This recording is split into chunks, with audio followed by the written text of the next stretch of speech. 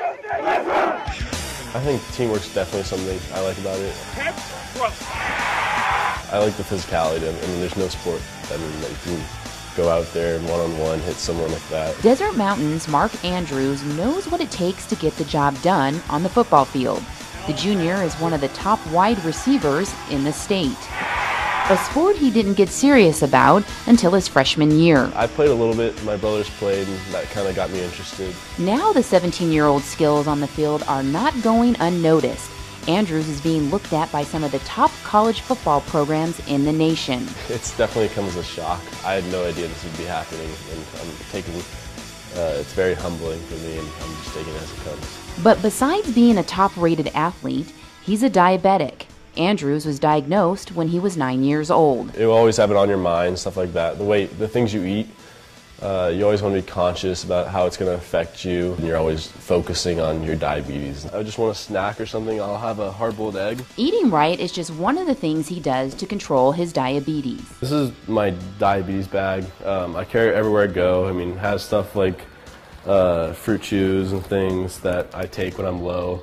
It also has a, a, like an emergency pen where if I'm too high it, or if I'm too way too low, someone can give me a shot and it'll, it'll boost me up. Andrews also wears an insulin pump. It's 24 hours, which continuously gives me um, a bolus uh, every hour, basically, and it just keeps my numbers in check. But when he's playing football, Andrews makes a few adjustments. He shuts off the pump and checks his blood sugar levels every quarter. I have a test strip and I put it in the device.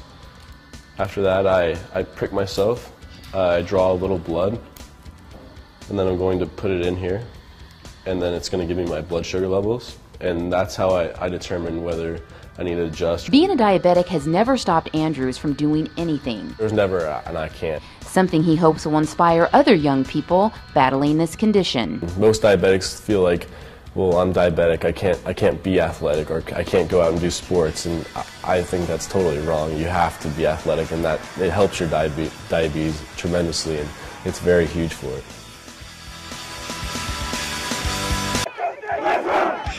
I think teamwork's definitely something I like about it.